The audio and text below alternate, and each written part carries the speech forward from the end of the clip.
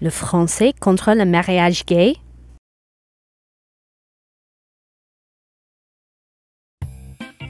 Voilà, les Américains vus par les Français. Et ici, les Français vus par les Américains.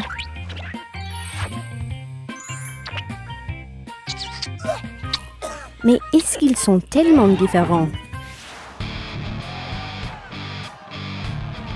C'est difficile à dire après la grosse manif ce dimanche à Paris où 300 000 personnes ont battu le pavé contre le mariage pour tout. Et ça a dégénéré. Est-ce vraiment le pays de Jules et Jim